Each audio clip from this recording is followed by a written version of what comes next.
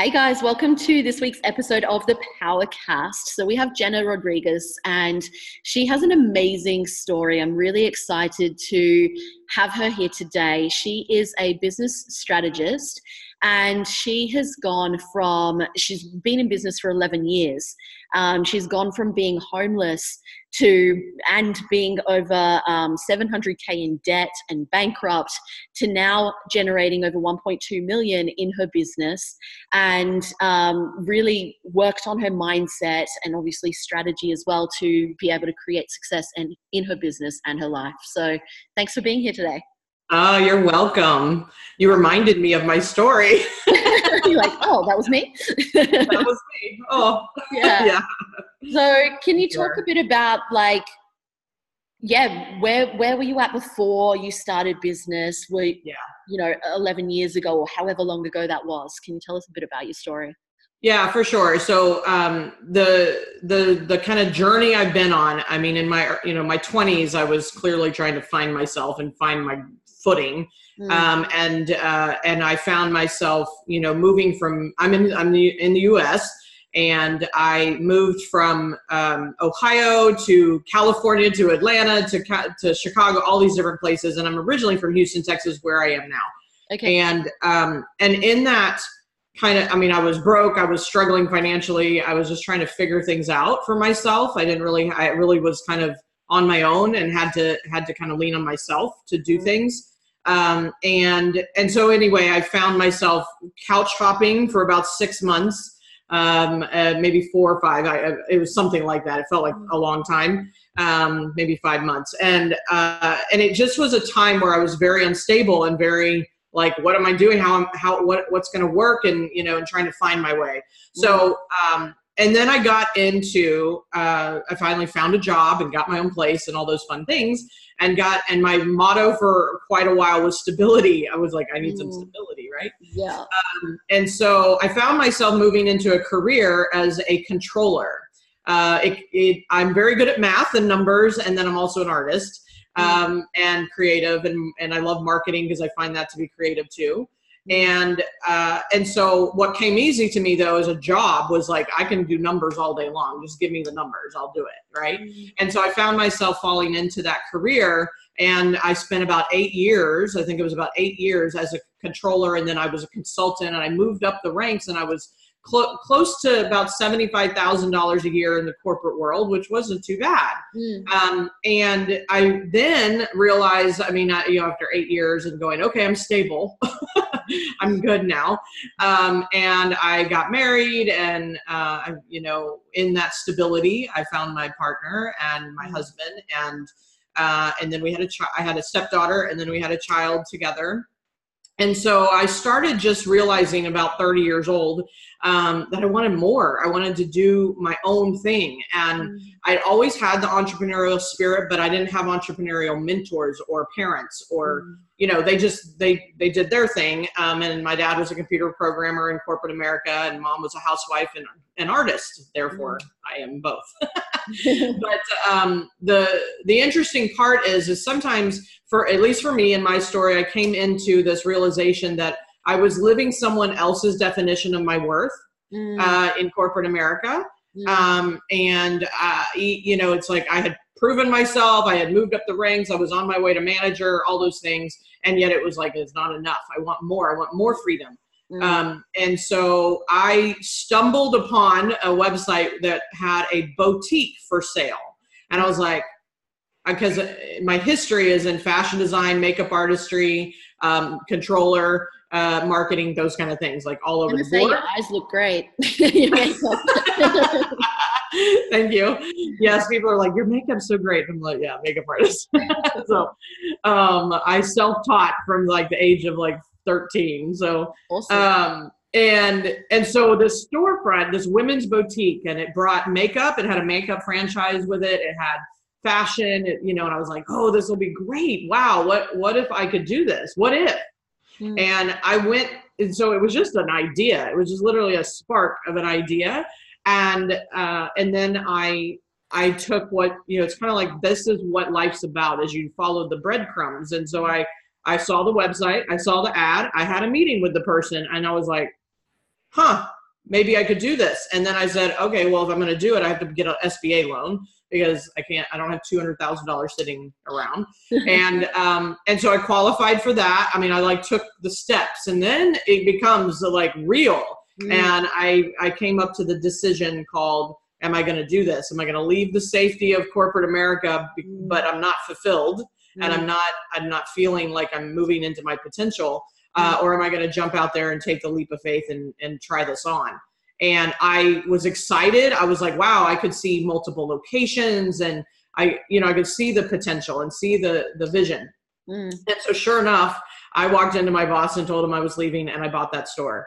Mm. And uh, and it was so exciting and so like wow what a brave moment right and mm. uh, and then the reality set in about a year later and I had made three hundred thousand dollars in sales now paying people paying inventory um, and trying to sustain my own personal income. Mm. And it actually was way harder than expected, and capital ran out. So if you're going to buy a storefront, you better have capital.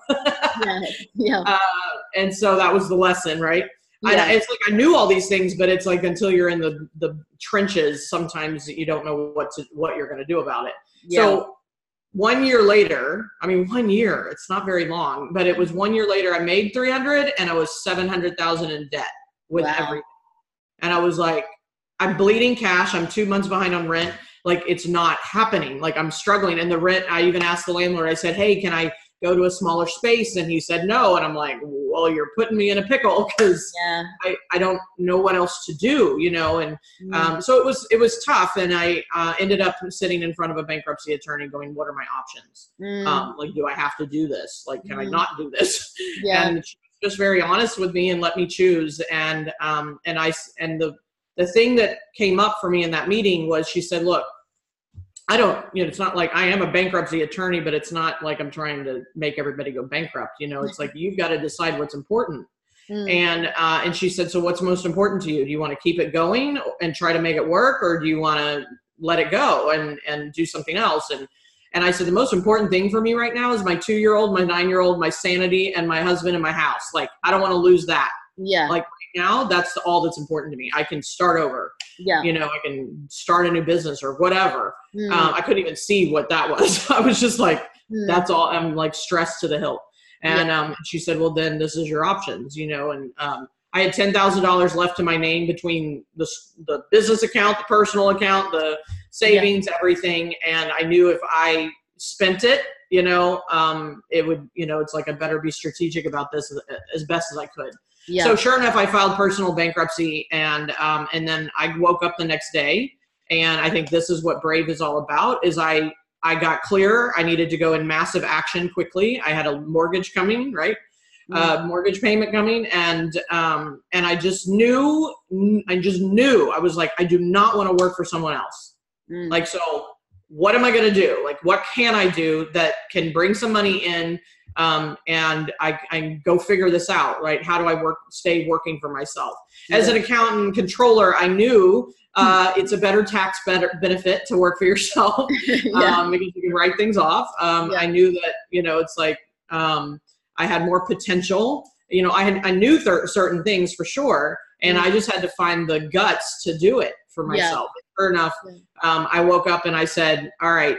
I'm, I even tucked my tail and called my ex boss and said, "Do you have it?" I said, "I don't want to be in. I don't want to be employed." I said, "But do you have any contracts that I could just pick up?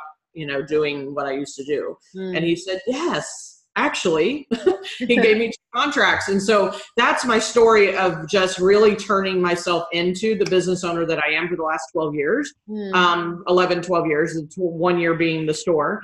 And uh, and now of course i've gone through many iterations. I've gone through being a partner with my husband in a web company mm. web and design company uh, and then we departnered um, the business in 2013 and i took over kind of the business as it was and reinvented it Mm-hmm. Um, and uh, and then now I've rebranded to Brave Masters as of last year, mm-hmm. and uh, and I just really love supporting entrepreneurs and making sense of how to make six figures in their business, how to um, you know kind of break through the noise and simplify, and look at it from you know a, a creative mind, but also look at it from the strategic bottom mm-hmm. line mind. mm. and uh, and so now I get to do even more of what I love mm. um, mm. as a business strategist, as a business coach, and uh, and just really helping people. I believe entrepreneurship is like the way to go if you really want to step into your fullest potential. Yeah. And it's one. It's not the easy way, and it's the brave way, is what I always say. Yeah. Um, and so yeah. here we are, right? Awesome.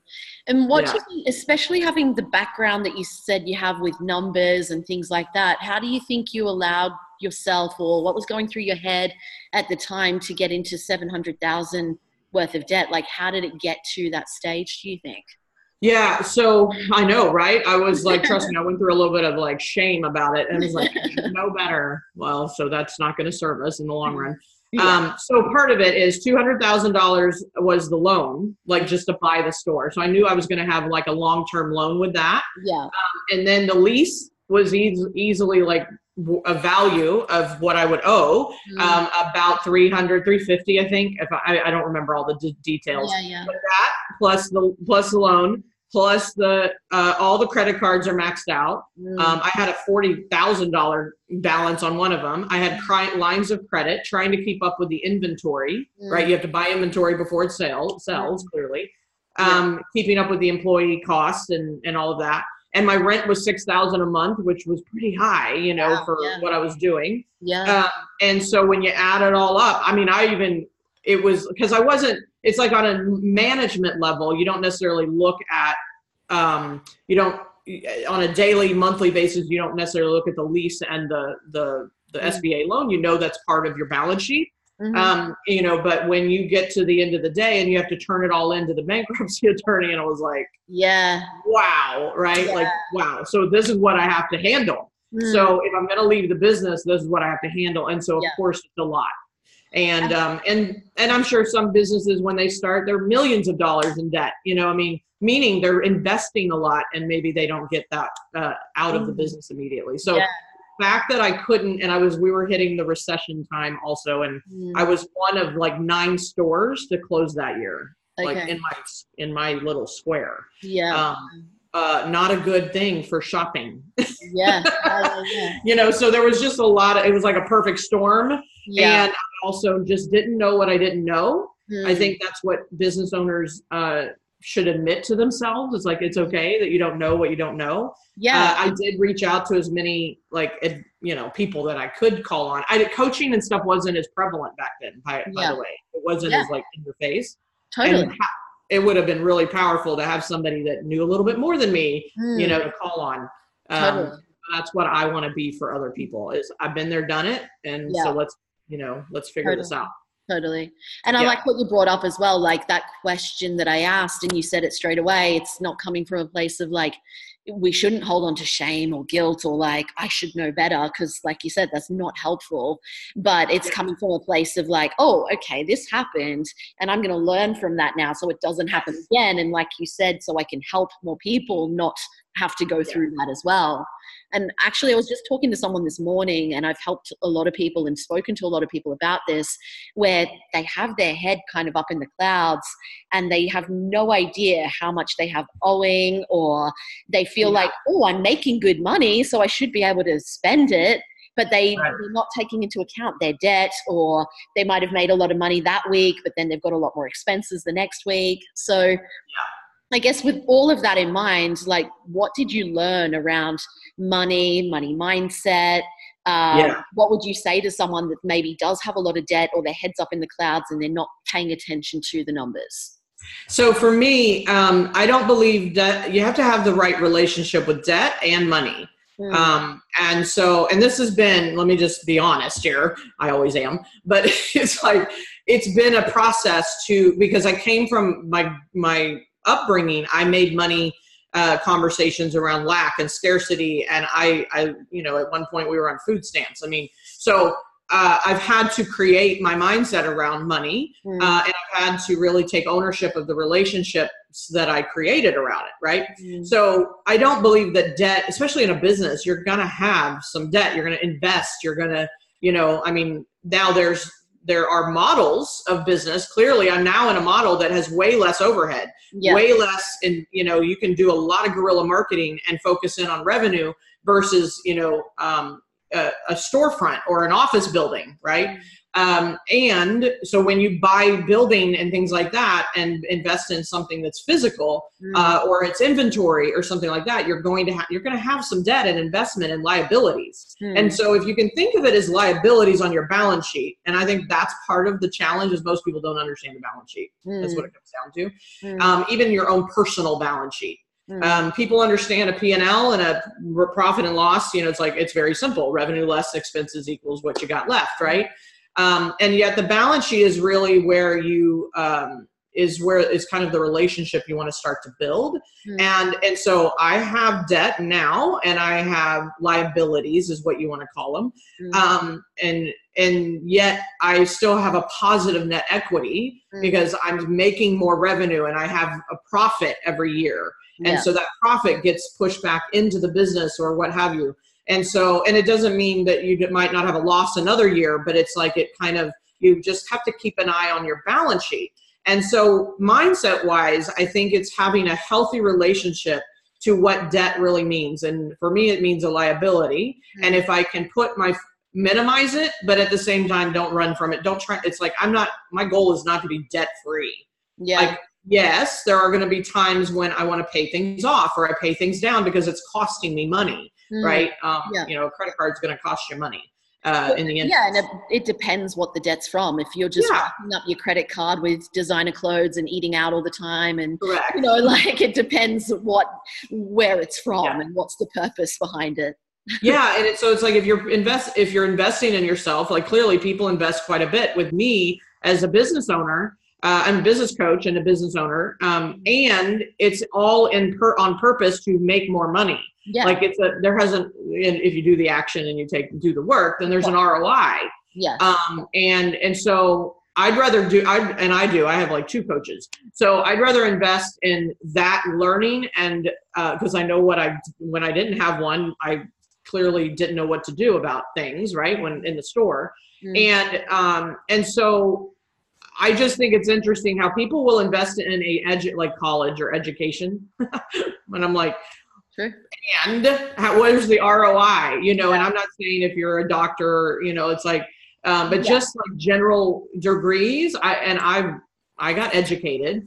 Mm. However, um, I also paid for the loan, and I also paid for you know I had to pay for it myself. Mm. So um, you know, it's like, but you won't invest in like business strategy and coach that's actually more specific to your situation than Mhm. just going and getting a degree or class or what have you. Uh, Yeah.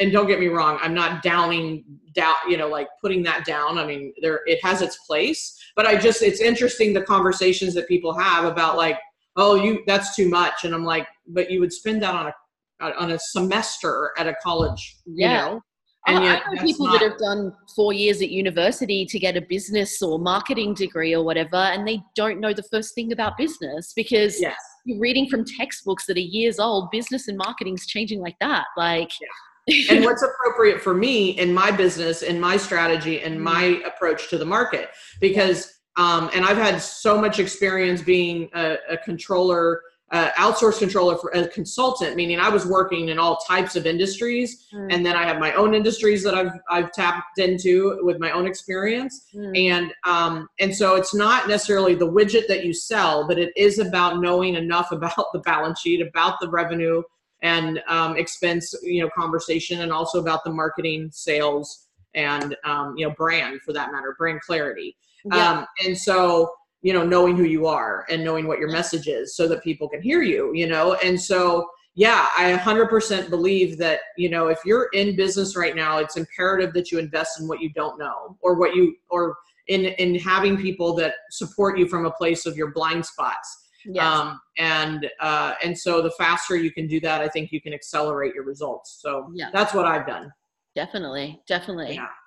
So, what are the key differences that you see from going from like six figures to like over seven figures? Like, where was your mindset and life and business at, you know, back then, and where where's it at now? What do you see the key differences? Yeah. So, um, so just to be clear, because I never, I never want this to be um, uh, misconstrued. My, I've generated over 1.3 million over the last few, like few years, Uh, and so, I'm not in an annual million. Okay, um, I'm okay. on my way. I'm Yeah. multi six figures, and there is a mindset difference regardless. Okay, so Um, then so- from I guess from the six figure to the multi six figure mindset. Yes, yes, yes, yes, and more like five figures. Yeah. I was hanging out at five figures for about five years. That Okay, was the thing. Even to shift to um, the six figure mark, which I believe a lot of people are even, that's probably the majority of what's happening out there, um, is at least what I find is most people can't even get to that threshold, right? Mm. And then it takes a whole nother mindset to get the multi six figures, and then I'm on my way to, you know, the seven Yeah. um, is uh, the thing is so even from getting from five figures to six figures one five figures is a lot of like do it yourself head down you know hustle hustle right like Mhm. you've got to do a lot because you got you may, may not have the um, financial means to invest in a lot of team or what have you Mhm. However, um, as you get inch up closer to that six figure mark, you've got to have a mindset of higher help. Um, and uh, and so it took me a while to get there. Um, I'm like, oh, I can save money if I just do it myself. I can just save money if I do it myself. Mhm. And uh, and then that get caps you out. We only have so much time in our lives yeah. um, and a hundred percent of us, 24 hours. So, um, so part of the mindset shift for me was number one, being willing to get uncomfortable at, uh, and brave faster is what I'll call it. So Mhm. I, when I say brave faster or, you know, like step into my brave more accelerated is that I'm going to, I'm willing to like take risk and get uncomfortable and like face any fears that I have for the sake of like growing my business. Mhm. Uh, and the, the one primary thing that I did um, back in 2013, and I made the decision in 12, and I'm like, okay, I've been hanging out under under six figures for five years. I'm Mhm. sick of it. I'm like, what am I gonna do? And I Mhm. knew I needed to get visible and start speaking out, speaking publicly. yeah. Um, you wouldn't even have me on this if I hadn't started saying yes to that, right? yeah. Yeah. Um, like you know, even podcasts were a little scary. Mm. Um, and so I committed to getting highly visible. That's the Mm. point. I was a networking junkie. I was networking, networking, networking, yeah. and it wasn't producing the six figures like I wanted. Doesn't mean it can't. I'm not. I'm not a Yeah. generalist here. yeah. But what I saw is I, I had to leverage my time. So leverage comes from speaking to one to many, right? Yeah. Um, hiring help. Um, and I started small. I started with like five hours a month with a VA, you know, virtual Mhm. assistant. Yeah. You know, you don't have to like jump in and hire an employee yeah. um, full time, you know, things like that. And I saw where I was holding myself back because of my fears, because of where I was uncomfortable. And that's the thing you got to get over quicker, Yeah. right? If you really want to scale up. Yeah. And and so I recommend people, especially if they're in that, you know, under six figure mark, Mm. if you're not speaking and getting visible and putting yourself out here, you know, in the world, Mhm. uh, you're just gonna. I believe you're gonna have a harder time, you know, getting to the traction that you want to get. you just mesh in with everyone else online, like you know, Yeah, you blend in. sitting yeah. behind their laptop complaining about other coaches.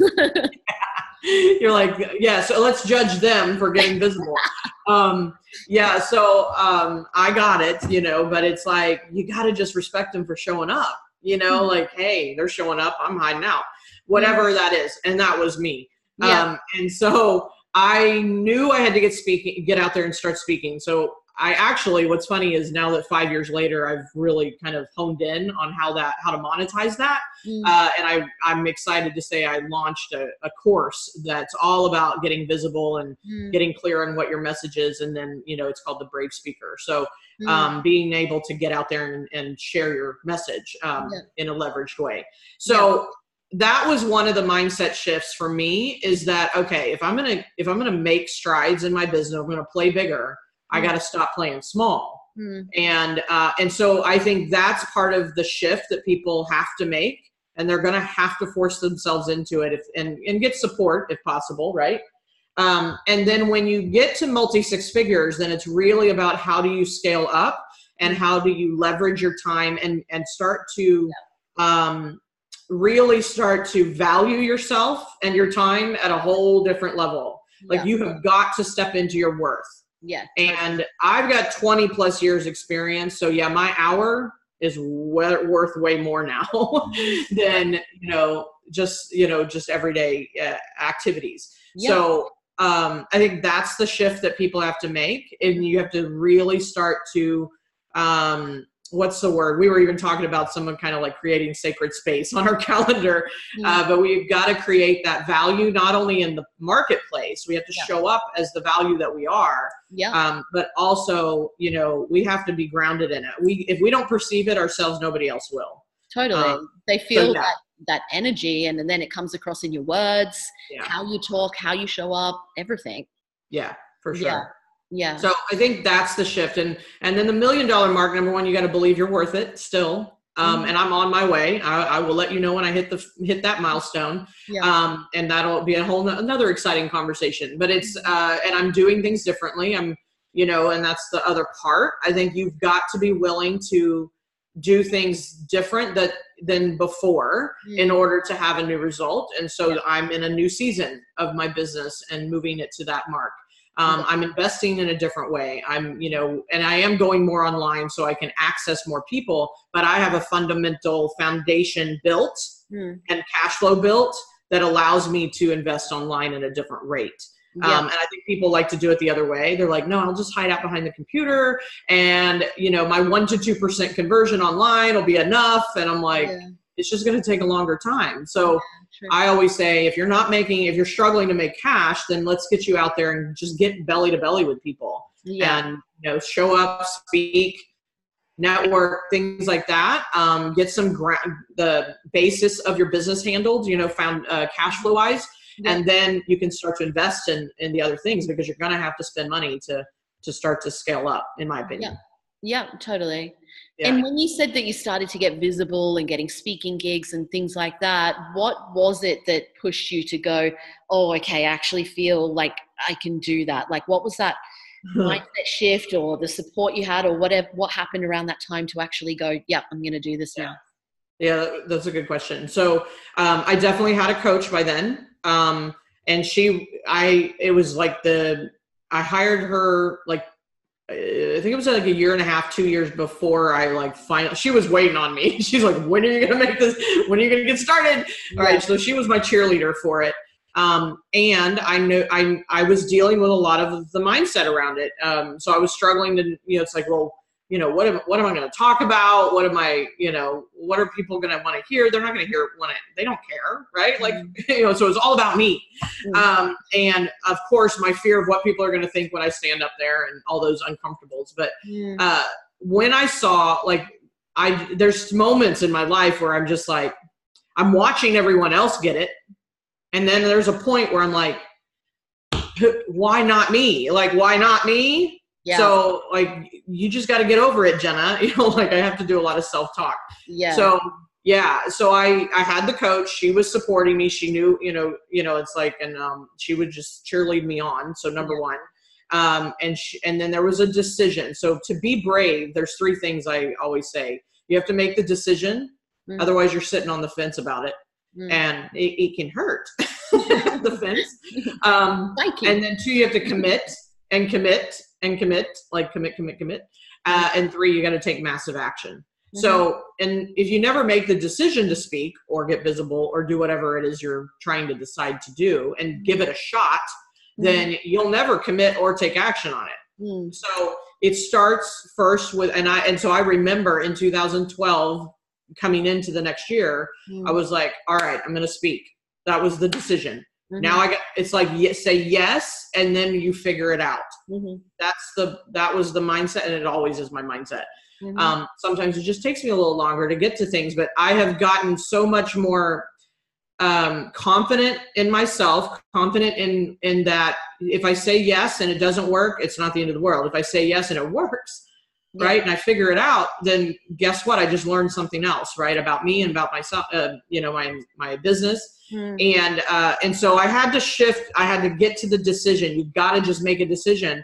And then I know part of the hesitation to make a decision is that are you going to commit?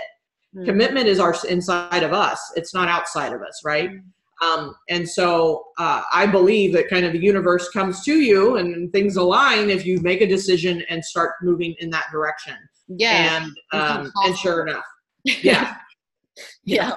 you get So- the results. yeah, exactly. Yeah, or you I mean, sitting on the fence and confusion and doubt and all that, like it literally holds it, it keeps it at bay, you know, Yeah. the results that you want. Yeah. Um, so even if you make the decision and it doesn't work, at least you're in motion. Mm. Um, and I always say, you know, business and life in general is like an experiment. It's like a it's like a science lab. Mm. So put put a conclusion together, you know, a hypotheses, and Yeah. then just take action. Put the things together in the you know test tubes, and if it works, great. And if not, change the formula. yeah, but that's cool. I that's what I see people hold back on is they just don't even get started. yeah. And Well, and if it's like, well, if it doesn't work, and it's like, well, it's not working doing nothing, right? So it's Exactly. like you may as well try and, like, you know, from what you're talking about as well, and what I believe, if you try and it doesn't work, it's not a failure. You are not. no, you, Yeah. you haven't been rejected. It's not that you're not good enough or anything like that. It's that you tried something and maybe it wasn't the right time or the right fit, or you learn the lessons, you reflect and you learn from it and you grow and you do the next thing. yeah. One of the biggest things that the store taught me is I actually didn't realize how much I wanted freedom of location. Mm, A yeah. store doesn't provide that. The opposite of that. um, yeah, I was like, I left that and going, I actually don't want that. yeah. I And didn't want it to end that way. It didn't work. That's right. I, so it was probably subconscious going, I really wish I didn't have to come here every day. you know, So notice, I here's the thing. I take full responsibility, personal responsibility for the fact it didn't work. yeah. Um, and I think it is a lot of times the, the thoughts, the subconscious things going on that are leading to the result called this ends, you know, like the ending. Um, I think it happens in relationships. I think it happens in business and Everything. jobs. I mean, it's so funny. I see people go, uh, and they're working. Some of them work with me while they have a day job and they're getting their business all off the ground and like, I want to quit my day job, and then they get fired. I'm like, "Are you Yeah. you asked for this. He's actually asked for it. Now Yeah. it's time to swim, right? Jump in Yeah. the deep end and swim. And I'm your life jacket. So yeah. um, yeah, I'm like, you know, it's it's kind of like don't blame the boss. yeah, yeah, exactly, exactly, yeah. totally. And what would you say that like the obstacles you've overcome, the success that you've had, the lifestyle you've created, the business you've created, like all of the, your whole story, basically? Yeah. How would you say that that has impacted, or um, I guess taught? What's it taught your your kids and your family? Yeah. Oh, Um, I'm sure the results of my teaching will show up later, but they're, um, you know, my oldest, my stepdaughter's 21 now, and my youngest is 13, going on 14. mm, and um and so one of the things that you know i think number one i i made a decision um you know i was she was the youngest was two when i started being an entrepreneur. Mm, uh and so she didn't she, she at five she thinks i i was working in my home and she wrote on her piece of paper at school she's like my mom's a housewife. And not that there's anything wrong with it but it was like not really. Yeah, but you know because I she doesn't know what i'm doing right? Yeah, um, now she gets it. Now she knows that I'm like building this business, and I'm very honest about if she money, uh, everything, like what I'm doing, and like if she has a question, I answer it. mhm, Um, so what I think, what I what I'm praying that I'm teaching them is that anything is possible if you if you're brave and you choose it and you make decisions and and be responsible for your decisions and your experiences. Like you get to create your life. mm, Um, funny enough, my daughter and I, and I learned this from my my mindset mentor, um, and I've been with her for like eight years. You know, Mm. just like in, in a practice of of mindset, and mm, uh, and so my daughter's old enough now, and she's actually gone into some kind of emotional challenges. I mean, welcome to you know junior high school. teenage, Uh, yeah, but it's like I said, you know, I said our feelings start with our thoughts mm, like you, you you know it's like you have a feeling because you got you were thinking about it. And so let's let's start to pay attention to our thoughts and let's create how you want it ahead of time. Yeah, um, and so i've been writing down and this is what i my my mentor taught us is creation statements which are basically intention statements you know and um, and writing those down intentionally every day. And so her and i actually do that together now. And Yeah. she's a fabulous manifester. Yeah. because Cool. she's like I, the next day I'm like, well, how much of that came true for you? How much did you experience all that? And she's Mhm. like, all of it. Yeah. I'm like, cool. amen. So if I can teach my kids, number one, they get to choose everything. They also get to choose their experience of everything. If they can see that, um, yes, I love entrepreneurship and I believe it is where our potential money is. And I'm also showing, you know, and my oldest is not necessarily, she's at the Art Institute, which is amazing in San Hmm. Francisco. Mm. Um, I don't know if she'll be an, an entrepreneur. I don't know. She wasn't with me, you know, in our household full time. Yeah. Um, so whatever that influence is, but hopefully she's observing. yeah. Um, but she gets to choose. And so if you work for someone great and if you work for yourself, great. Mhm. And you get to create your life the way you want it. And it's Yeah. not, it's not a place of victim. It's a pla- place of victor. yeah. And so be the victor yeah. and, uh, and let's pray that's what comes across as Yeah. they grow up. Yeah. Um, but that's what I, I'm, my, my goal is, is to teach them choice and, and, you know, being responsible for their choices Mm. Yeah. and um and i and i do my best to be an example of stepping into your dreams Mm. and not dreaming small Mm. so i just keep dreaming bigger Yeah. and you know my lifestyle now i created a couple years ago with the increase in money and with the with my desire to live by the ocean Mm. um i and my daughter my youngest loves the ocean too and i so we live at the ocean for a month every summer why because i created a freedom of location business Mhm. I've got more money in my business now, and we can do that together, right? So every year we go to Florida and live by the ocean for a month. Yeah, Um, nice. And I still work and we play and all that, Mhm. but she, that wouldn't, you know, years ago that wasn't really possible. Yeah. So yeah. Yeah. so I want her to dream big. Awesome, awesome. I love that. Uh, so where can, it's been great chatting with you and great. Too. Thanks for sharing all of that. And where can people find you if they want to follow you online? Yeah, for sure. Bravemasters.com is the website, so everything's there. And I would love to invite people to my free Facebook group. That's really where I've been hanging out a lot. Mhm. Um, and that's bravemasters.com slash brave FB, FB for Facebook, Mhm. uh, brave FB on the end. Um, and you can join and it's just, I do training and, and have conversations, but I just feel like, you know, that's more of a community that I'm building of Yeah. Brave Masters yeah, and, uh, and keeping people encouraged to, to go after their business and be Yeah. strategic and all those good things, but, um, be brave in the process. So yeah. We'll have the links below as well. Yay. Yeah, awesome. Thank you. Thank you. Thanks very much for You're yeah, so welcome. all of that. Awesome. Yeah. Thank you.